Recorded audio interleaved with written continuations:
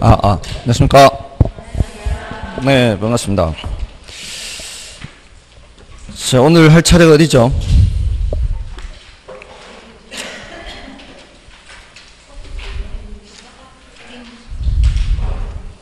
(264쪽인가요) 네, 진도가 조금 늦, 늦어서 어, 좀 속도를 내야 되겠습니다.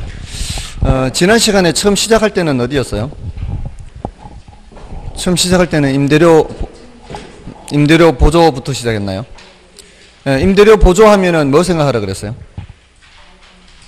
예, 달동네 임대료를 보조하면은 달동네인 사람들한테 보조를 해주면은 이 사람들이 수요를 증가시키죠. 예, 수요를 증가시키면서 달동네 주택이 부족 현상이 나타나기 시작하겠죠. 그러면서 이제 임대료가 예, 올라가면서 거기에 있는 임대인들이 이제 혜택을 보게 되는 거죠. 임대료가 올라가게 되면은. 그러면 이제 예, 돈이 되니까 공급이 증가는 하는데 예, 달 동네에 새로 지어서 공급하는 게 아니라 옆 동네에 있는 주택 중에서 낡아지기 시작하는데 예, 그런 데 것이 저소득층 사용한테 사용으로 제공이 되는 거죠. 그러니까 주택이 이렇게 하향료가 된다라고 표현을 하잖아요. 근데 이제 사실상은 저소득층 주민들이 그쪽으로 들어가게 되는 거죠. 낡아지기 시작하는데. 예, 그러면 이제 고소득층들이 원하는 여건이 좋은 그런 주택들은 점점 부족해지면은 예, 고급 주택가 고급 주택은 고가 주택은 새로 신축을 해서 공급을 증가한다 그랬죠. 예, 그래서 그 이제 하향 여과를 함께 말씀을 드렸죠. 예, 주거 분리라는 것도 좀 말씀을 드렸고요. 예, 다음에 이제 임대료 보조가 끝나고 공공임대주택 공급했죠. 공공임대주택 공급하면은 뭐 생각해야 돼요? 예, 옆 동네에다 공공임대주택을 공급했을 때 우리가 사는 동네에 임대시장을 보라 그랬죠. 어떤 외부 효과라든가 이런 측면을 보는 게 아니라 사적 시장에서 임대 시장을 살펴보라 그랬죠. 그렇게 제한된 틀 범위 내에서 어, 우리는 공부를 해야 정확하게 할 수가 있어요. 우리는 결혼 수준에서는 깊은 현실의 문제를 정확하게 분석하는 그런 분석은 난이도가 너무 높습니다. 그러니까 어, 제한된 틀 범위 내에서만 하는 것이기 때문에 그렇게 생각하는 것이 훨씬 유리하죠. 자, 그렇게 했을 때 단기적으로 사적 시장의 임차인들이 공공시장으로 가게 되면은 사적 시장에 빈집들이 늘어나면서 임대료가 내려가죠. 그럼 사적 시장의 임차인들도 혜택을 봐요. 단기적으로는. 에, 그 단기적으로 사적 시장 임차인들이 혜택 본다는 얘기는 에, 이 사적 시장의 임대인들은 손해 본다는 얘기거든요. 에, 그 임대인들이 장기적으로도 손해 보면서 계속 공급하지는 않죠. 예, 이제 빈집들이 점점 낡아져서 이제 철거되면은 새로 짓지 않겠죠. 예, 그래서 예, 장기적으로는 사적 임대 시장에서의 공급이 점점 줄어듭니다. 그러면 임대료가 올라가겠죠. 예, 임대료가 올라가면 이제 사적 시장의 임차인은 더 이상 혜택을 볼 수가 없죠. 여기 이제 장기 효과죠. 그래서 장기적으로 사적 시장에 예, 예, 임대주택이 줄면서 임대료가 올라간다는 얘기는 이제 예, 임대료 임대주택이 준다는 얘기는 그만큼 공공시장의 공급이 그만큼 늘었기 때문에 줄어든 거라 그랬죠. 그래서 장기적으로 어, 사회 전체의 임대주택의 양은 불변이다. 뭐 이런 내용을 했습니다. 자, 그런 거 했고요. 그다음에 이제 조세로 들어가서 조세에서는 어, 이 조세 전가와 귀착. 예, 여기서는 이제 더 탄력적일수록 덜 부담하죠. 수탄이 공탄보다 더 크면 수요자가 덜 부담하고 공탄이 더 크면 공급자가 덜 부담하고 예, 어느 한쪽이 완전 탄력적이면 그쪽이 하나도 부담하지 않게 되고 완전 비탄력적이면 다 부담하게 되는 거고 여기 이제 조세 전가와 기착에서 같으면 반반이죠. 음, 같으면 반반이고 예, 상대적 탄력도 여기서 결정된다는 것 조세 전가와 기착했고 그 다음에 조세 양도소득세 중과의 동결 효과했죠. 음, 양도소득세를 무겁게 매기면은 에, 이 투기적 수요를 줄이려고 하는 의도지만 에, 의도대로 되지 않고 오히려 에, 공급 동결 효과가 나타나서 가격이 오히려 올라가는 효과 이렇게 했고요. 자원 배분 효과 했죠. 음, 자원 배분 효과는 조세를 부과했을 때 자원 배분이 얼마나 왜곡이 되느냐 그렇지 않느냐 이걸 보는 거였죠. 예, 그는 영향받는 사람들이 얼마나 많으냐 적으냐로 판단한다 그랬죠. 창문세를 예를 들었죠. 창문세. 예, 영향받는 사람들이 많을수록 자원 배분 왜곡은 커지는 거죠. 그래서 비탄력적일수록 자원 배분 왜곡은 작다 그랬고요. 탄력적일수록 자원 배분 왜곡은 크다 그랬죠. 탄력적일수록 영향받는 수량이 크다는 얘기죠. 그래서 완전 비탄력적이면 자원 배분 왜곡이 없다 그랬어요. 자, 이런 세 가지를 얘기를 했습니다. 그 다음에 이제 투자론으로 넘어와서 지렛대 효과 했고요. 지렛대 효과는 에, 타인자본을 사용했을 때 나타나는 효과. 얼마나 싼 이자를 에, 몇배 뻥튀기 하느냐. 음, 여기에 달려 있죠. 에, 이자가 싸, 싸면 쌀수록 음, 내 자기 자본 수익률은 더 올라가겠죠. 그리고 남의 돈을 많이 사용하면 많이 사용할수록 더 많이 자기 자본 수익률이 올라가겠죠. 정의 지렛대 효과가 나타날 때. 반대로 부의 지렛대 효과가 나타나면은 남의 돈을 많이 사용할수록 자기 자본 수익률은 에, 내려가는 거죠. 에, 중립적 지뢰는 아무 영향을 미치지 않습니다. 에, 다음에 이제 위험과 수익에서 어, 위험이라는 것은 이제 예상치로부터 벗어날 가능성에서 측정은 표준 편차나 분산, 수익은 에, 기대, 가중 평균, 기대 수익률을 이제 그 가중 평균에서 계산을 하죠. 에, 그리고, 그리고, 어, 위험의 유형의 사금 법인유, 뭐 이런 걸 다시 한번 점검을 했고요.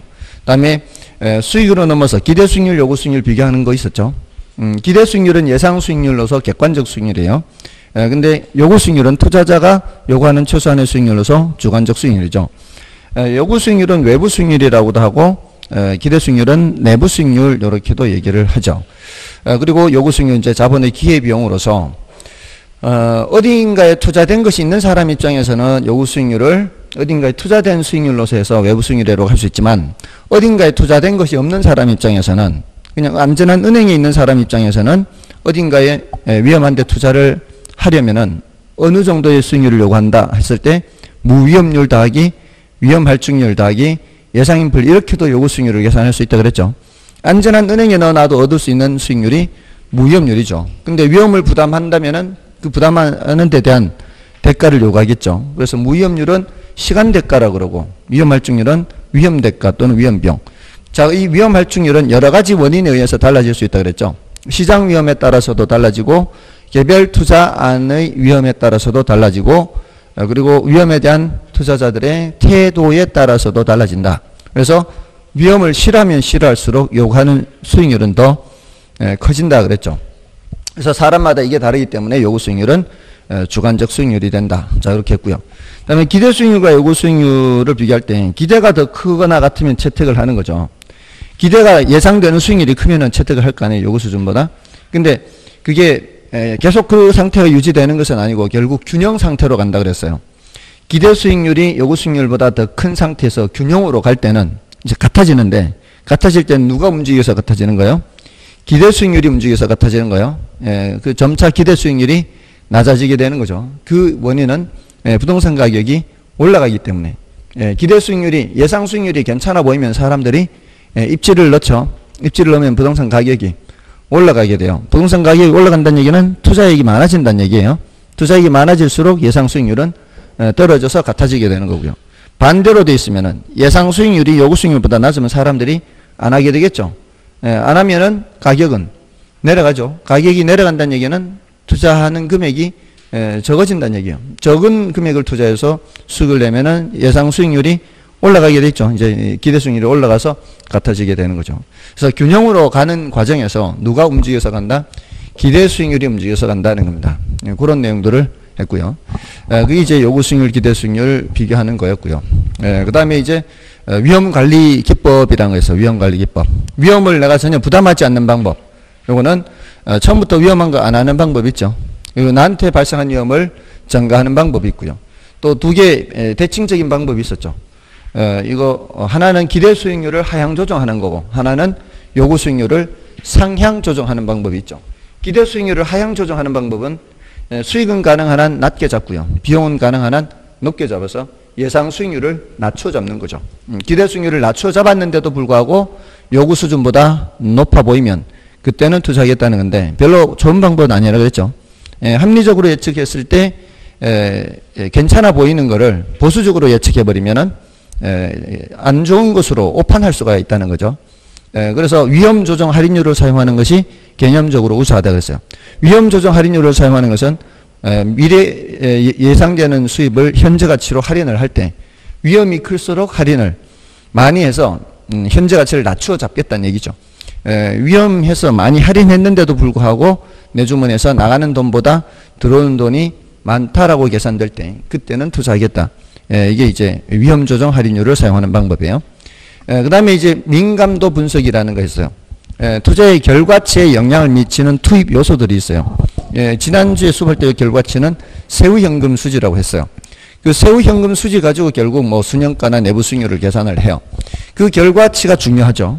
근데 그 결과치에 영향을 미치는 게 임대료도 있고 공실도 있고 경비도 있고 여러 가지 항목들이 있죠. 이런 것들을 투입 요소라 그래요. 그 투입 요소가 변하면은 결과치도 변하게 되겠죠. 근데 각각이 1%씩 변할 때 에, 결과치가 얼마나 민감하게 변하는지 살펴보는 게 민감도 분석이었어요. 그래서 민감하게 변할수록 그는 위험한 투자안이 되는 거죠. 민감하게 변한다는 것이 그만큼 많이 변한다는 얘기죠. 그래서 그렇게 많이 변하는 요소들을 집중 관리 대상으로 삼겠다는 게 민감도 분석이었고요. 그다음에 이제 포트폴리오나 평균 분산 결정법에서 넘어갔죠. 에, 평균 분산 결정법에서 지난 시간까지 계속해서 반복했던 것들은 동일한 위험이라면 수익이 큰거 선택하고 동일한 수익이라면 위험이 작은 걸 선택하는데 위험도 크고 수익도 크면은 어떤 걸 선택해야 될지 판단할 수 없는 평균 분산 오류의 경우에 변이 계수를 사용하는 방법을 추가 하나 더 말씀드렸죠. 변이 계수와 포트폴리오 구성하는 방법이 있는데 변이 계수는 아이디어가 뭐라 그랬어요? 한쪽을 통일시키는 거죠. 위험도 서로 다르고 수익도 서로 다르기 때문에 이게 어떤 게 더 나은지를 판단을 못하는 거였잖아요. 어느 한쪽이 똑같으면 판단할 수 있잖아요. 음, 근데 평균 분산 노류가 나타나는 경우는 수익도 다르고 위험도 다르니까 판단을 못하는 거 아니에요. 그래서 뭐를 통일시켰어요? 수익률을 통일시켰죠. 1%로. 수익률을 1%로 통일시키고 위험을 받죠. 그래서 변이 개수의 아이디어는 수익률 1%당 위험 이렇게 되는 거예요. 수익률 단위당 위험. 그래서 이렇게 해서 더 작은 놈이 1%당 위험이 더 작게 되는 거죠. 그래서 수익률 단위당 위험 네, 이렇게 해서 예, 변이 개수 개념을 했어요. 이게 작을수록 예, 안전한 거죠. 상대적 위험도를 나타내는 거였습니다. 자, 이게 이제 변이 개수였고요. 그 다음에 이제 포트폴리오 들어가서, 어, 지난 시간에 했던 포트폴리오는 지금까지 11월, 12월, 1월, 2월까지 했던 내용들을 반복하는 거였죠. 예, 이게 분산 투자를 하는 것이고, 분산 투자를 통해서 어, 위험을 줄이는 건데, 모든 위험을 줄이는 게 아니라, 에, 예, 비체계적 위험을 줄인다. 체계적 위험은 줄일 수가 없다. 그리고 어, 비체계적 위험을 가능한 한 많이 줄이는 방법은 구성자산수를 다양하게 하는 방법이 있고 또 하나는 두 개만 놓고 봤을 때는 수익률의 변동이 반대가 되도록 하는 방법이 있다. 그 수익률이 같은 방향인지 반대 방향으로 움직이는지를 나타내는 개수가 상관계수라는 게 있어서 상관계수는 마이너스 1에서부터 1까지 값을 갖는다. 상관계수가 1일 때는 전혀 효과가 없고 상관계수가 1보다는 작고 마이너스 1보다 크거나 같을 때는 효과가 있다. 1만 아니면 효과 있다 그랬죠. 상관계수가 0일 때 효과 있다 그래요? 없다 그래요? 있다 그래요. 예, 이 굉장히 효과가 높은 거요. 예, 1일 때만 효과가 없는 것이고 0일 때나 굉장히 효과, 0, 사실상 0일 때는 굉장히 효과가 높은 겁니다. 예, 그리고 상관계수가 마이너스 1일 때는 예, 위험을 가장 많이 줄일 수가 있죠. 예, 그래서 어, 비체계적 위험을 0까지 줄일 수 있다. 여기까지가 지난주 했는 거죠. 자 이제 새로운 내용이에요. 새로운 내용. 최적 포트폴리오. 네, 최적 포트폴리오를 이제 들어갑니다. 자, 이 최적 포트폴리오를 알려면은 효율적 전선이라는 것을 알아야 되고요. 무차별 곡선이라는 것을 알아야 돼요. 자, 두 가지 개념을 알아야 되는데, 어, 우리가 이제 포트폴리오를 구, 어, 성을 할 때, 여러 투자 안들이 있죠. 여러 투자 안들이 있습니다. A 부동산, B 주식, C 예금, D 부동산, E 주식 굉장히 다양한 이제 예, 항목들이 있죠. 자, 그럴 때 이제 여러 가지를 섞는 게 포트폴리오 아니에요. A와 B와 C에 2대 2대 6으로 섞어요. A, A 부동산이 내 자산의 20%, B 주식의 내 자산의 20%, C 예금의 내 자산의 60%. 이렇게 섞은 것을 이제 1번 포트폴리오로 할게요. 1번 포트폴리오. 그 다음에 2번 포트폴리오. 2번 포트폴리오는 B 주식의 20%, C 예금의 30%, D 부동산의 20%, E 주식의 30% 이런 식으로 2, 3, 2, 3 이제 뭔 뜻인지 아시겠죠? 전체 100% 중에 20%, 30%, 20%, 30% 이렇게 섞은 거를 2번 포트폴리오 자 이거 섞을 수 있는 방법들 여기도 많죠 뒤에 예, 굉장히 다양하게 많은데 3번 포트폴리오는 3번 포트폴리오 A와 B와 C의 3대 3대 4로 섞는 거예요 A, B, C는 똑같아도요. 투자 비중이 달라지면은 그거는 다른 포트폴리오가 돼요. 수익과 위험의 구조가 달라지기 때문에. 그죠? 수익과 위험의 구조가 달라져. 이, 이 섞는 이 비중을 달리하면은. 자, 그렇게 따지면은 이렇게 섞는 포트폴리오가 가지수가 어떻게 되겠어요?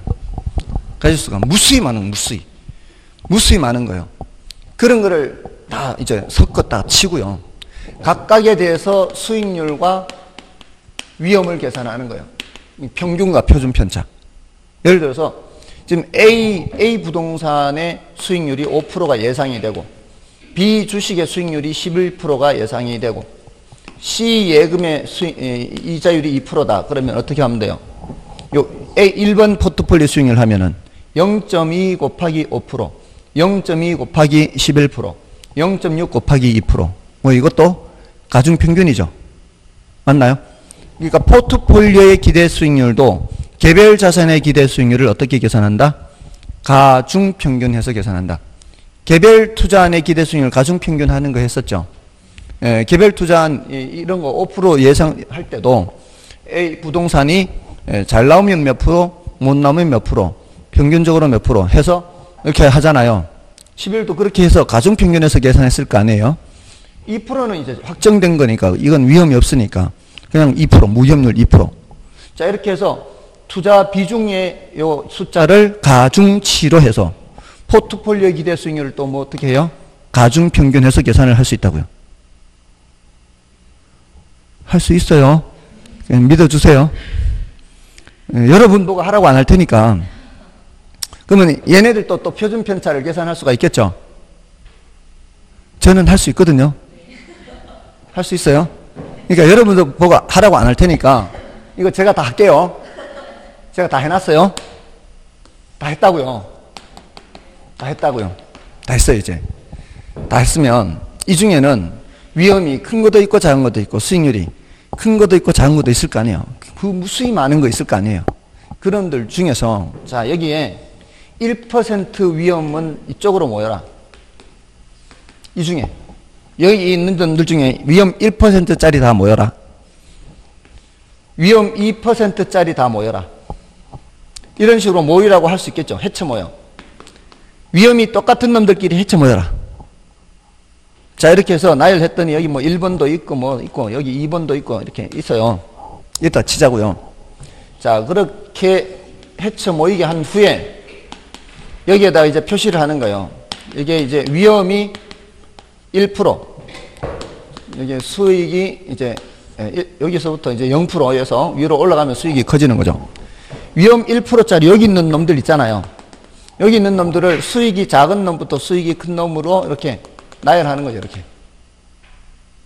그러면 이렇게 올라가는 중에 제일 높은 놈 있을 거 아니에요. 이 중에. 이 중에 수익률이 제일 높은 놈. 그 놈이 제일 위에 찍히겠죠. 예? 음, 그놈 있을 거 아니에요. 또. 자, 여기 위험이 2%짜리 모여라. 그럼 위험이 2%짜리 모여라 해서 다시 또 수익률을 작은 것부터 큰 것까지 이렇게 나열하는 거예요. 자, 그럼 이제는 위험 2%짜리 중에서는 위험 1%짜리 중에서 수익률이 제일 높은 놈보다 위험 2%짜리 중에서 수익률이 제일 높은 놈이 더 올라가지 않을까요? 더 위험하게 섞은 것만큼 더 위험한 것을 섞은 것만큼 수익률이 더 높게 나오지 않겠어요? 그러겠죠? 그럼 여기서도 마찬가지 3%짜리 위험 중에서도 수익률을 나타내면은 요거보다는 어떻게 더 위로 올라가겠죠? 자, 더 위로 올라가는데 이렇게 직선으로 나타나는 여기 올라갈까요? 더 올라갈까요? 덜 올라갈까요? 더 올라갈 것 같아요? 더 올라간다면 이렇게 올라가겠죠. 모양이. 모양이 이렇게 올라가면 보세요. 자, 이쪽 위험 증가하는 거하고 수익 증가하는 거하고 나중 가면 갈수록 위험은 조금 증가하는데 수익은 많이 증가하죠. 그러면 어떻게 구성하면 될까요? 조금, 조금이라도 위험을 더 부담하면 수익은 엄청나게 더 많이 나올 수도 있겠죠. 그게 현실일까요? 아니면은 더 위험한 걸 섞어도 위험한 걸 섞어도 수익이 증가는 하지만 조금 수익은 조금 증가하는 정도밖에 안 되는데 부담하는 위험은 훨씬 더 큰 게 현실일까요? 어떤 게 현실일 것 같아요? 조금 위험을 더 부담하면 대박이 터질 것 같아요? 아니면은 위험을 더 많이 부담해도 수익이 조금 늘 가능성이 있어도 위험, 부- 위험 부담하는 거에 비해서는 수익이 조금밖에 안될것 같아요. 현실이. 두 번째 게 더 현실 같죠? 만약에 이렇게 될 것 같으면 다들 어떻게 하면 돼요? 또 조금 더 위험한 것들 섞어가지고 수익이 대박나게 할 수도 있잖아요. 근데 그게 현실이 그렇지가 않다는 거죠. 음, 이거는 직관에 맡기는 수밖에 없어요. 예, 그래서 여기서 이렇게 직선으로 올라가는 것도 아니고 현실은 이렇게 올라간다는 거죠. 자, 현실은 이렇게 올라간다는 거는 이제 수익률이 증가는 해요. 이게 계속 증가해요, 이게 수익률이. 계속 증가는 하는데 그 부담하는 위험의 증가에 비해서는 수익이 조금밖에 증가하지 않는 거죠. 그러니까 웬만한 강심장이 아니고서야 이쪽으로 가려고 하지 않죠. 이쪽으로 가면은 거의 뭐 쪽박차기 이, 이, 이, 거의 그 쪽박차일 가능성은 높은데 수익은 조금 더 늘어나고 이러면 함부로 그렇게 못하는 거죠. 현실은. 자 여기서 이 점들로 연결이 된 거예요. 이 점들. 이 점들이 뭐예요? 이 점들이 주어진 위험하에서는 수익이 제일 높은 놈이죠. 주어진 위험에서는 수익이 제일 높은 놈이잖아요. 여기서 얘보다 더 높은 수익이 있어요, 없어요? 없죠. 이런 거는 갈 수 있죠. 갈 수 없죠. 여기서 이런 거 갈 수 없잖아요. 자, 이런 포트폴리오, 주어진 위험에서 수익이 제일 높은 포트폴리오를 효율적 포트폴리오라 그래요. 제일 좋은 놈들. 효율적 포트폴리오. 자, 이런 효율적 포트폴리오를 연결한 선을 효율적 전선이라 그래요. 음, 효율적 전선은 이렇게 표현할 수가 있어요. 효율적 포트폴리오를 연결한 선 이렇게 도 되고요. 주어진 위험하에서 수익이 가장 큰 포트폴리오를 연결한 선 해도 되겠죠? 맞나요? 음, 이렇게 하면은 주어진 수익률 하에서 위험이 가장 작은 포트폴리오입니다. 주어진 수익률 하에서 위험이 가장 작은 포트폴리오가 돼요. 맞나요? 음, 이쪽으로 읽어도 되고 이쪽으로 읽어도 되는 거죠. 맞나요?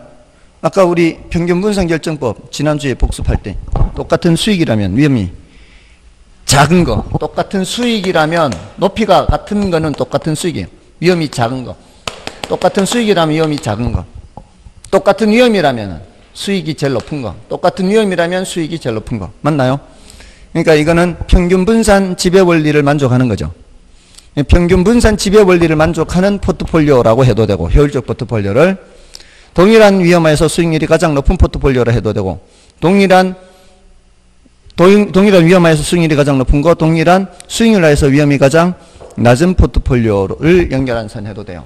그러니까 효율적 전선을 표현할 수 있는 방법은 다양하죠. 자, 이게 효율적 전선이에요. 이게 모양이 어떤 형태예요? 우상향인데 그냥 우상향이면 얘하고 헷갈릴 수 있어요. 얘도 우상향이에요. 얘하고 얘하고 둘 다 우상향인데 모양이 다르죠. 음, 그래서 얘를 위로 볼록이라 그래요. 위로 볼록한 우상향. 요거는 아래로 볼록한 우상향. 우상향도 구별을 하기 위해서 그렇게 표현을 해요. 자, 이 효율적 전선은 여러분한테 제시된 거하고 저한테 제시된 거하고 같을까요? 다를까요? 여러분한테 제시되는 거하고 저한테 제시되는 게 같을까요? 다를까요? 같아요. 여러분이 여러분이 ABC에 2대 2대 6으로 섞어서 투자하나 제가 ABC에 2대 2대 6으로 섞어서 투자하나 어떻게 써요? 똑같겠죠. 음, 이거는 이렇게도 섞고 저렇게 섞은 그, 그 섞은 상황을 얘기를 하는 것이기 때문에 누구에게든 효율적 전선은 음, 똑같아요. 다음에 이 점, 이 점, 이런 것들은 이거는 갈 수 있어요? 못 가는 곳이에요? 못 가죠? 예, 이거는 우리가 갈 수 없는 세상이에요. 우리가 갈 수 있는 세상은 이 범위 아니에요. 효율적 전선을 포함해서 이 안쪽만 갈 수 있고 저 바깥은 갈 수 없는 세상이에요. 됐나요? 주어진 위험에서 이거보다 더 높은 수익을 얻을 수 없다 이 말이에요. 더 높은 수익을 얻으려면은 위험도 더 부담을 해야 수익을 더 얻을 수가 있다는 뜻이에요. 그래서 이게 우상향 형태예요. 됐나요? 자, 다음은 자, 여러분들한테 질문을 드리는 거예요. 자, 여기 1%짜리 위험, 1%짜리 수익률을 나타내는 이 포트폴리오가 있어요. 이 포트폴리오에 대해서 점수를 매기라고 하는 거예요. 사람마다 다른 점수를 매길 수가 있어요. 에, 위험이 적지만 수익도 1%밖에 안 되기 때문에 높은 점수를 줄 수가 없어. 예를 들어 10점, 10점. 자, 요 위에 있는 점을 주면은 더 높은 점수 줄 거예요? 더 낮은 점수 줄 거예요? 높은 점수를 주겠죠. 왜냐하면 위험은 같은데 수익이 커지니까. 맞나요? 그럼 요 오른쪽에 있는 점을 주면은 점수를 더 높게 줘요? 낮게 줘요? 낮게 주겠죠. 자, 그럼 10점보다 낮을 거예요. 자, 그럼 요 20점 오른쪽에 있는 점수를 주면은 오른쪽에 있는 포트폴리오를 주면은 이 점수를 낮게 주겠죠. 자, 그러면은 20에서 19, 17, 18, 18, 17, 16 이렇게 낮아질 거란 말이에요. 그러다가 뭐하고 같은 게 있을 수 있어요. 똑같이 10점인 게 있을 수 있죠. 이렇게 가면 내- 내려가니까 10점 데가 있을 거 아니에요. 그럼 요점 요점 만족도가 같은 게 있지 않냐 이 말이야. 왜 같을까요? 위험은 커지지만 대신 수익이 얹어주니까 만족도가 유지되는 거죠. 애들 꿀밤 한 대 먹는 거 별로 안 좋아하죠. 그죠? 애들 한, 꿀밤 한 대 먹여놓고 울지 않을 만큼만 사탕 주는 거예요. 사탕 먹는 건 좋아할 거 아니에요. 그러니까 별로 안 좋은 개, 좋은 거 한 개 같이 줘서 울어야 될지 웃어야 될지 헷갈리는 정도만 딱 그 정도만 만족도가 어때요? 같은 거예요. 됐나요? 자, 만족도가 같이 유지가 되는 거예요. 자, 그러면 이 오른쪽 위에 또 있지 않을까요? 10점짜리가? 맞아요? 근데 우리는 위험 회피형을 전제로 하는 거예요. 위험 회피형. 그러니까 맞는 거 싫어한다고요. 애들 처음에 한 대 꿀밤 먹였을 때는 사탕 한 개만 주면은 그칠 수 있죠. 그러니까 두 번째인데 또 꿀밤 먹였을 때는 한 개 줘가지고는 안 될 수 있어 이제 열 받았어 이제 더 줘야 돼 더 뭔가를. 그러니까 위험을 싫어하는 사람한테는 처음에 위험 증가할 때는 수익을 요만큼만 얹어줘도 에이, 그래 이 정도는 참을만 해.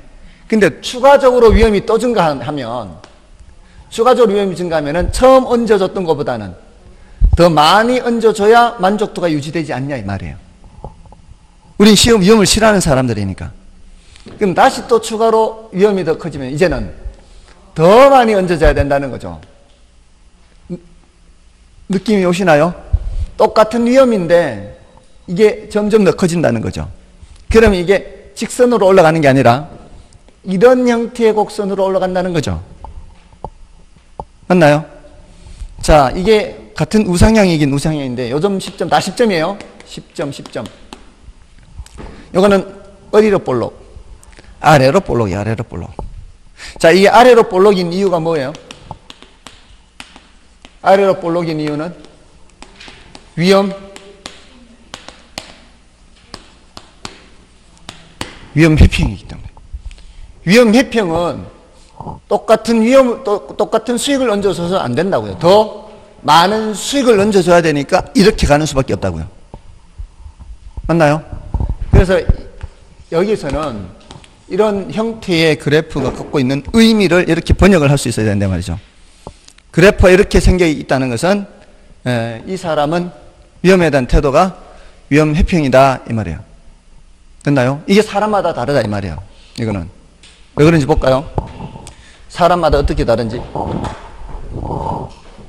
자, 똑같은 점을 지나기는 하지만 이렇게 올라가는 게 있다고 쳐보세요, 이제. 노란 거. 노란 거는 B. 하얀 거는 A. 자, 여기서 똑같은 위험이 증가하는데요. 출발점은 같은데. A라는 사람은 이만큼 얹어줘야 똑같다라고 만족을 하는 사람이고요. B라는 사람은 요만큼 얹어주면 똑같다라고 하는 사람이에요. 이 똑같은 한 대 꿀밤 먹였는데 A는 이만큼 얹어줘야 좋다 그러고 B는 이만큼 얹어줘야 좋다라고 하는 거죠. 저 위험 부담 할래 안 해? 이 위험 부담하면 대가를 줄게. 그 대가를 주는데 A는 이만큼 줘야 나는 한다 그러고 B는 요만큼만 줘도 나 할게. 이런 사람이란 말이에요. 위험에 대한 대가가. 어떤 사람이 위험을 더 싫어하는 사람이에요? A라는 사람이 위험을 더 싫어하는 사람이죠. 똑같은 위험 부담에 대해서 더 많은 걸 요구하니까 위험을 더 싫어하니까 더 많은 걸 요구한다 이 말이에요. 그러니까 이게 사람마다 다르다는 거예요. 어떤 사람은 더 공격적인 사람이 있고 어떤 사람은 더 보수적인 사람이 있단 말이에요. 지난주에 더 보수적, 더 공격적 하지 않았나요? 그죠? 더 보수적인 사람이 더 보수적인 사람이 위험을 더 싫어하는 사람이잖아요. 그럼 여기서는 누가 더 보수적이에요? A가 더 보수적인 사람이고 B가 더 공격적인 사람이다. 이렇게 얘기를 할 수 있거든요. 이거는 이미 질문을 했어요. 질문했어요. 더 완만한 게 공격적이에요? 더 가파른 게 공격적이에요? 완만한 게 공격적이에요. 이거는 이미 질문을 했어요. 자, 이 사람 위험 회피형이에요? 위험 추구형이에요? 이 사람 위험 회피형이에요? 위험 추구형이에요? 그러면 안 돼요. 이 사람도 지금 형태가 뭐예요? 아래로 볼록, 위험 회피형.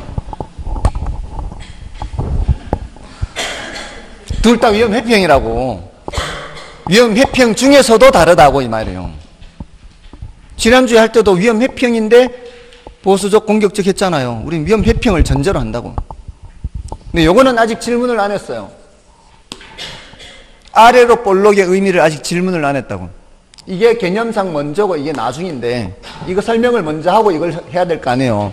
아래로 볼록 중에서도 아래로 볼록 중에서도 더 가파를수록 보수적, 더 완만할수록 공격적 이렇게 가는데 얘는 질문을 했는데 얘는 아직 질문을 안 했어요. 시험 범위에 들어와 있다 이 말이에요. 아래로 볼록의 의미. 아래로 볼록의 의미는 위험 회평이다. 예, 더 가파르면 위험 회평 중에서도 더 보수적, 더 완만하면 예, 더 공격적. 됐나요? 이게 사람마다 다를 수밖에 없죠? 음, 사람마다 달라요. 자, 그럼 이제 이흰 예, 것만 다시 볼게요. 흰 것만. 흰 것만. A라는 사람.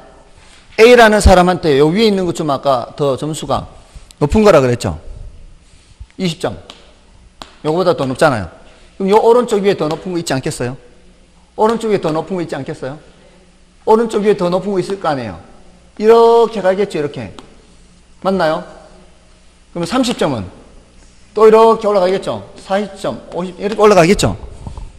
음, 투자자한테는 가능한 한 어떤 걸 주는 게 더 좋은 거예요? 가능한 한 저 위에 있는 걸 주는 게 더 좋죠? 맞나요? 자, 그럼 더 가능한 한 위에 있는 게 좋아. 똑같은 위험이라면 기왕이면은 수익이 큰 게 좋으니까. 그죠? 자, 그런데 자, 효율적 전선 그려 놓고요.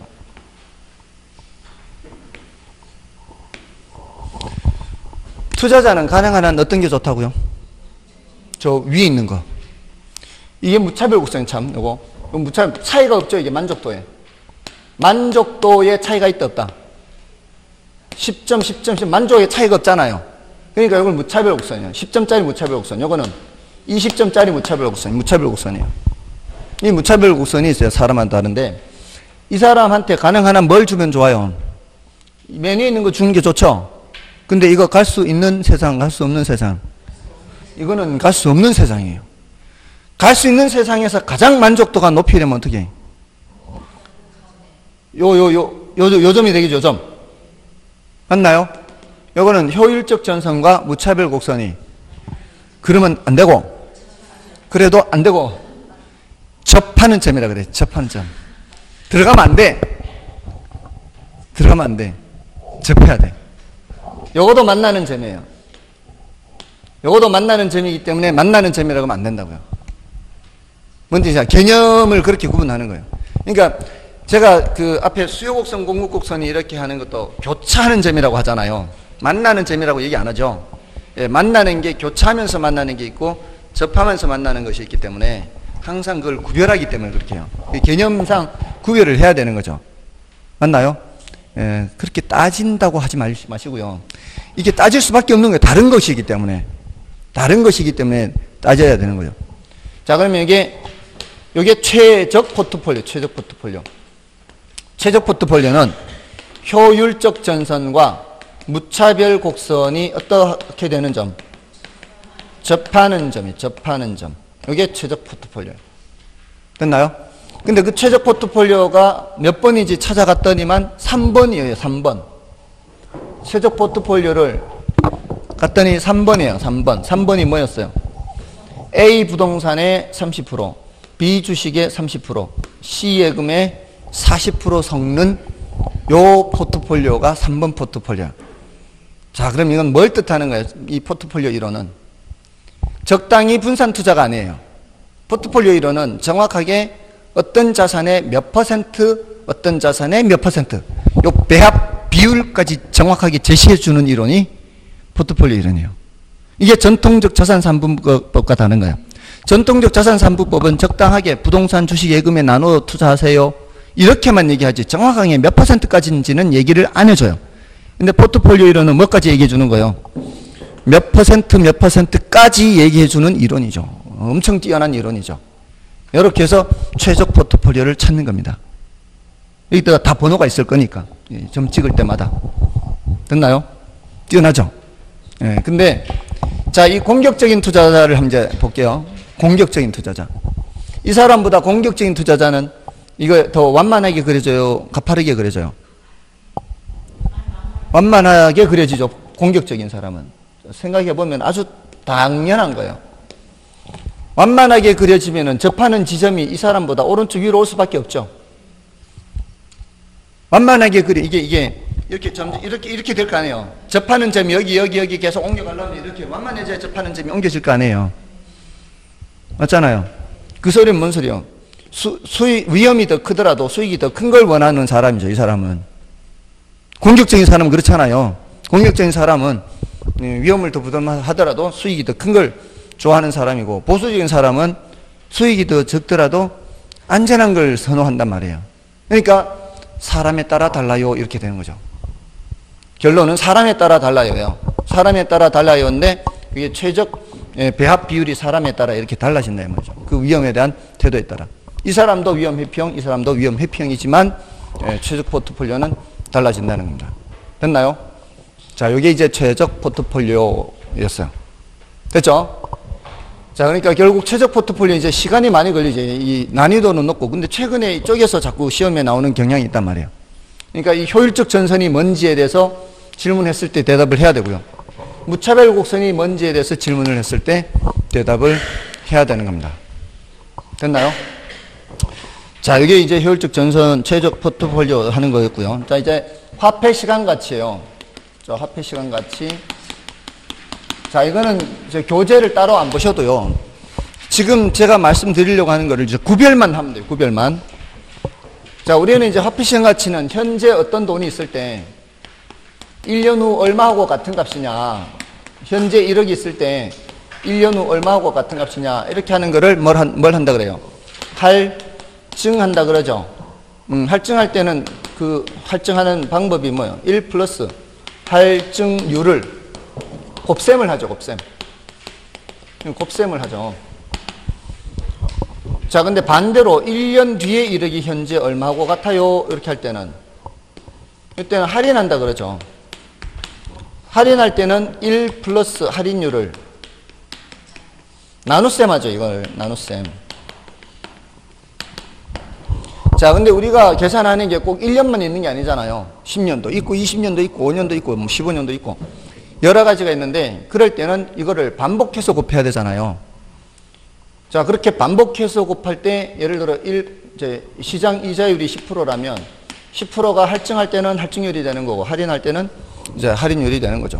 어떤 때는 시장 이자율로 할증 또는 할인하고 어떤 때는 투자자의 요구 수익률로 할증 또는 할인하기도 해요. 자, 근데 10년이면은 반복해서 1 플러스 0.1에 10제곱 반복해서 이렇게 곱하는 거잖아요. 근데 이게 이제 복리 계산을 전제로 한 거죠. 예, 1년 지나면 원금이자 다시 그걸 원금으로 삼아서 다시 또 반복해서 복리 계산을 전제로 하는데 우리가 일일이 이런 계산을 할 필요는 없잖아요. 이런 게 다 뭐가 만들어져 있어요. 표가 만들어져 있어서 지금 이런 경우에 어떤 표를 찾아서 그 표에 있는 숫자를 갖다 곱하면 되는지만 알면 된단 말이에요. 우리 예전에 그 기출된 이런 문제들도 다 그런 상황을 질문하는 거예요. 자, 근데 이런 경우도 마찬가지. 이게 10년 후에 1억이 10년 후에 1억이 현재 얼마하고 같은지를 계산하려면은 10번 나누기 해가는 거 아니에요. 근데 그것도 일일이 10번 나누기 할 필요가 없잖아요. 그것도 다 뭐가 만들어져 있어요. 표가 만들어져 있죠. 근데 이 숫자와 이 숫자는 같은 숫자인데 옛날에는 계산기가 없던 옛날에는 이, 이 표에 가면 이 숫자 2.594거든요. 1억 곱하기 2.594 하면은 현재 1억이 10년 후에 2억 5,940만 원이 된다는 거고 1억 나누기 2.594 하면은 10년 후에 1억이 현재 얼마 되는지가 계산이 된단 말이에요. 근데 옛날에는 계산기가 없으니까 나누기 2.594 하는 게 굉장히 불편하단 말이에요. 그래서 어떻게 바꿔요, 이거를? 곱하기 1 플러스 0.1의 10제곱분의 1 하죠. 그래서 2.594분의 1이잖아요. 역수죠, 역수. 요 숫자를 표로 미리 만들어 놨단 말이에요. 그러니까 여기에 있는 2.594의 역수에 해당하는 숫자란 말이에요. 그래서 예를 들어서 여기에 10년 후에 얼마가 되느냐. 여기가 2.594라면 예, 이런 표를 하나 더 만들어서 여기는 어떤 숫자가 있단 말이에요. 요거하고 요거하고 역수관계인 숫자가 예, 돼 있는 표가 다 돼 있단 말이에요. 그래서 우리는 나누기 하는 숫자가 아니라 곱하기 하는 숫자만 이제 찾아내서 곱하기만 하면 되는데 이 표의 이름과 이 표의 이름 이런 구별하는 그 표의 이름을 알아야 된다는 거죠. 근데 그 상황이 모두 여섯, 몇, 여섯 가지가 있단 말이에요. 그러니까 그 여섯 가지의 경우에 구별할 수 있으면 되는 거예요. 그래서 오늘 이제 그걸 구별만 하는 거예요. 구별. 자, 근데 안 어려워요. 구별만 하는 거는. 자, 딴 생각을 하니까 어려운 거예요. 딴 생각을 하지 말고. 자, 잘 보세요. 자, 지금 현재 어떤 돈이 있을 때 미래 얼마하고 같은 거냐. 예를 들어 10년 후에 얼마하고 같은 거냐. 이런 상황이 있고 또 미래 어떤 돈이 있을 때 현재 얼마하고 같으냐 이런 상황이 있단 말이에요. 자 여기 한 번이고 여기 한 번이죠. 여기 한 번, 여기 한 번이죠. 모두 한 번으로 나왔을 때는 이 숫자를 계산하기 위해서는 일시불의 미래가치 계수표를 찾아가야 돼요. 내가 계수표 한 번에 내가 계수표 일시불 이런 경우에는 일시불의 언제 가치가 궁금해요? 현재 가치가 궁금하죠? 그럼 현가 계수표를 찾아가야 돼요. 자, 이게 일시불이라는 거는 뭐 때문에 그런 거예요? 이쪽이든 이쪽이든 한 번이죠, 한 번. 한 번이니까 일시불이에요. 자, 그런데, 자, 이거 보세요. 이거 한 번이에요, 한 번 아니에요? 한 번 아니잖아요. 이건 일시불이 나올 수가 없잖아요. 여기도 이렇게 가면은 이거 한 번 아니잖아요. 이거는 일시불이 나올 수가 없단 말이에요. 모양이 구별되죠? 그러면 공통점과 차이점을 보면 돼. 일단 얘는 차이점이 한 번이 아니라 여러 번이에요. 맞죠? 그리고 공통점은 뭔가 하면은 여기서는 이 금액이 궁금해요. 여기도 이 금액이 미래 가치가 궁금하고 여기도 현재 가치가 궁금한 거죠. 네, 미래 가치 궁금한 거죠. 자, 그랬을 때 이게 예를 들어 10년이다. 그럼 이 첫 번째 연도 말, 두 번째 연도 말, 10년째 말, 10번이죠. 10번의 금액이 다 합쳐진 거예요, 합쳐진 거. 여기까지 와서 합쳐진 거. 합쳐진 거예요. 자, 그럼 얘가 여기까지 오는 동안에 몇 년치 이자가 붙어요? 9년치에 9년치. 9칸. 여기서부터 10칸이에요, 여기서부터. 그러니까 한 칸 오른쪽으로 가면은 한 칸, 한 칸씩, 한 번씩 혈증 내는 거고, 한 칸 왼쪽으로 가면은 그때마다 한 번씩 나누게 하는 거예요. 여기서부터 여기까지가 10년이기 때문에 여기서부터는 9년치 이자가 붙어요. 얘는 8년치 이자가 붙고 얘는 이자가 안 붙고 그냥 합산이 돼요. 그래야 공식이 나와요, 공식. 예, 그 R의 1 플러스 R의 N승 이런 공식이 있어요. 이런 공식이 예, 그렇게 해서 나오는 것이기 때문에 이걸 전제로 하는 거예요. 자, 그러면 여기서는 요때 금액이 궁금한 거예요. 요 시점, 요 시점. 요 시점에 금액이 궁금한 거예요. 그럼 얘는 몇 번 나누게 하는 거예요? 한 번. 얘는 몇 번? 10년이면. 지금도 아홉 번 하면 안 돼요. 여기서부터 칸수를 세야 돼. 여기서부터 여기까지 와야 되잖아, 이제는. 우린 생각을 해야 돼요, 생각. 여기서 이쪽으로 올 때는 10칸을 와야 돼요, 10칸을. 그러니까 몇 번 나누기 해요? 10번 나누기 하는 거예요. 이쪽에서는 여기서까지는 9칸 오는 거지만, 이제 이쪽에서 이쪽으로 올 때는 10, 10칸을 와야 돼, 이쪽이. 얘는 10번 나누기 하고, 얘는 한 번 나누기, 두 번 나누기, 이렇게 해요. 자, 그렇게 해서 합산된 금액이에요. 그럼 왼쪽, 오른쪽의 공통점은 뭐예요? 왼쪽, 오른쪽의 공통점은 합산된 금액을 구하는 거라고. 합산된 금액. 합산되잖아요, 이게 다. 맞나요? 맞아, 아니에요. 공통점과 차이점만 알면 된다고. 합산된다는 점이 공통점이잖아요. 그러면 이거 이거 목돈이란 말이 이게 목돈 계산하는 게 이게 목돈 계산 합산된 금액을 계산하는 거라고 맞나요? 합산된 금액을 계산하는 거예요. 합산된 금액 대신 그 푼돈은 알려주겠죠. 푼돈은 알려주죠 문제에서 그래야 이걸 이제 묻, 묻겠죠 이렇게 이것도 안 알려주고 이것도 안 알려주면 안, 되, 안 되니까 그래서 공통점은 뭘 계산하는 거? 목돈을 계산하는 거예요. 차이점은 얘는 언제 목돈? 미래 목돈, 얘는 현재 목돈. 위하고 아래 차이의 아래의 차이점과 공통점. 공통점은 미래 가치를 계산해야 된다는 거. 차이점은 한 번이냐, 여러 번이냐. 그럼 됐잖아요. 공통점 차이점만 알면 되는 거 아니에요. 됐나요? 자, 그럼 마지막. 공통점과 차이점. 공통점이 뭘까요? 공통점. 작은 원의 위치와 큰 원의 위치가 같은 위치에 있어요. 작은 원이 이렇게 나열되어 있잖아요. 큰 원 이렇게 나열되어 있잖아요. 그게 공통점이에요.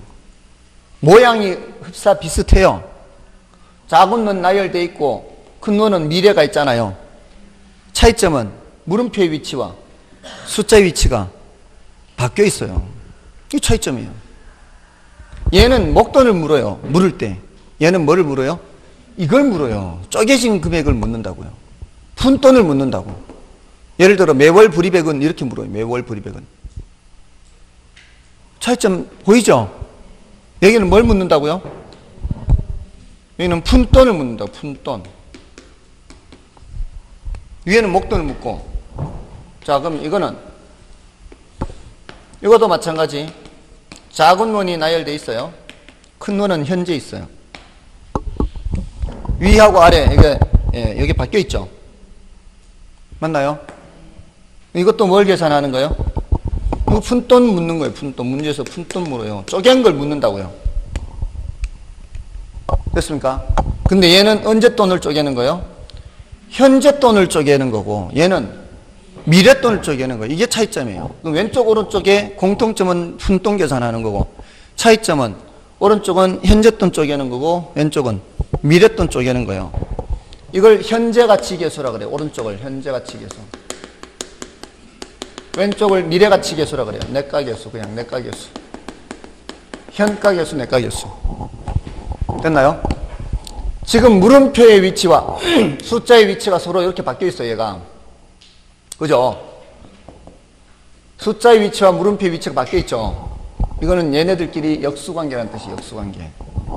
일시불 내과와 일시불 현가는 역수관계라는 뜻이에요. 자, 근데 요거는 매 기간 똑같은 금액으로 이렇게 불입되는 거를 연금이라고 표현해요. 연금. 연금의 언제 값이 궁금한 거야. 미래 값이 궁금한 거잖아요. 그게 공통점 아니에요. 얘하고 얘하고 공통점. 공통점이니까 미래 가치 계수. 차이점은 일시불이냐, 연금이냐. 그럼 여기서도 공통점은 현재 가치가 궁금한 거죠. 그리고 연금 형식이죠. 그럼 연금의 현가 계수가 필요한 거예요. 그러면 여기서는 자, 여기에 제일 많이 사용하는 건데요. 요거는 저당 상수라고 그래요. 저당 상수. 자, 이렇게 표현하는 이유는 지금 현재 저당 대출을 받았을 때 원리금 균등 상환으로 갚아 나갈 때 그 원리금 균등액이에요. 금액이 똑같죠, 이게. 원금 이자의 합격이 똑같아요. 그래서 이렇게 갚아 나가면은 원금 이자를 다 갚아 나가는 거거든요. 이 저당 상수는 대부액에다가 저당 상수를 곱하면 대출 받은 금액에 저당 상수를 곱하면 뭐가 계산된다? 원리금 균등액 계산돼요. 그래서 제일 많이 했어요. 지금 대출 받았을 때 원리금 균등 상환으로. 됐나요? 자, 다음에 푼돈을 어, 이쪽을 계산하는 거는 감채기금 계수라 그래요. 말이 어렵죠. 감채는 채무를 감소시킨다 뜻이에요. 채무를 감소시키는 기금이에요. 기업 회계에서 기업이 10년 후에 목돈으로 100억을 갚아야 되는 돈이 채무가 상환하는 게 있어요. 만기가 10년 후에요. 근데 10년 후에 갑자기 100억 모으기 쉽지 않죠. 그러니까 미리부터 적금 붙는 거예요. 그래서 10억을 모으기 위해서, 100억을 모으기 위해서. 근데 그 100억이 바로 무슨 기금이에요? 감채 기금이에요. 그 채무를 감소시키는 기금을 쌓기 위해서 요 개수를 곱한 이 1에다가 100억에다가 감채임 개수를 곱하면 요 매월 또는 매년 불입해야 되는 금액이 계산이 되거든. 그래서 감채기금 개수라는 말을 써요. 근데 꼭 그럴 때만 쓰는 거는 아니에요. 이것도 꼭 원리금 균등상으로 대출 받았을 때만 쓰는 거는 아니에요. 그때 주로 쓰기 때문에 표현을 이렇게 했을 뿐이지 그렇게 기억하고 있기보다는 현재 돈 쪼갠다라고 해야 어, 정확하게 맞출 수가 있어요. 어떻게 질문하든 다 맞출 수가 있어요. 이거는 미래 돈 쪼갠다 이렇게 기억해야 돼요. 됐나요? 질문을 하면은 질문하면은 이 매뉴얼에 따라 하세요. 이 매뉴얼에 따라 이걸 잊고 이걸 생각 안 하기 때문에 틀리는 거. 어떤 때는 틀리고 어떤 때는 맞고 그런 거예요. 일시불인지 아닌지를 제일 먼저 보세요. 제일 쉬워요, 이게. 일시불은 양쪽 다 한 개씩 있어야 되죠. 맞나요? 그럼 일시불이에요, 아니에요? 해서 yes. 음, 일시불 맞는 것 같아. 그러면은 현재 일시불을 계산해야 돼요. 미래 일시불을 계산해야 돼요. 요거 질문하라고요. 그럼 현재 일시불을 계산하는 거는 일시불의 현가 계수가 필요하고 미래 일시불을 계산하는 거는 일시불의 내가 계수가 필요한 거죠. 됐나요? 이거 질문하면 돼요. 만약에 일시불이 아니에요. 어, 한 번이 아닌데 그럼 어디로 가는가 하면 목돈을 계산하니 스스로 질문해요. 목돈. 목돈을 계산하니 물어요. 목돈을 계산하는 거는 지금 이런 금액을 알려줘야 되는 거죠. 이런 금액을 알려줘야 목돈을 계산할 수가 있어요. 한 번이 아니고. 맞나요? 그럼 yes 하면은 현재 목돈을 계산하는 거니 미래 목돈을 계산하는 거니 이렇게 물어요. 현재 목돈 계산하면은 연금의 현가 계수가 필요하고 미래 목돈을 계산하면 연금의 내가 계수가 필요해요. no 하면은 목돈 아니란 얘기죠. 일시불도 아니고 목돈 아니면 이제 푼돈 계산하는 거예요. 자동으로. 자동으로. 그러면 현재 돈 쪼개니 미래 돈 쪼개기 이렇게 질문하면 되는 거죠. 현재 돈 쪼개기로 가면 뭐로 가는 거고요? 저당 상수로 가고 미래 돈 쪼개기로 가면은 감채기금 개수로 이게 숙달될 때까지는 이 세 가지를 계속 질문하고 대답을 해야 돼요. 스스로. 자, 질문을 해볼게요. 제가 채권을 갖고 있어요. 10년 후에 만기가 도래하는 채권이에요. 10년 후에 만기가 도래하는 채권이에요. 자, 그 지금 받고 싶어요. 지금. 그 금액은 내가 계산해 주, 면 돼. 지금 받고 싶은 금액 계산하려면 일시불이 아니에요. 일시불이죠. 언제 금액이 궁금해요? 현재 금액이 궁금하죠? 그럼 뭔 개수를 찾아가야 돼요? 일시불 현가 개수를 찾아가야 된다고요. 됐나요? 다음.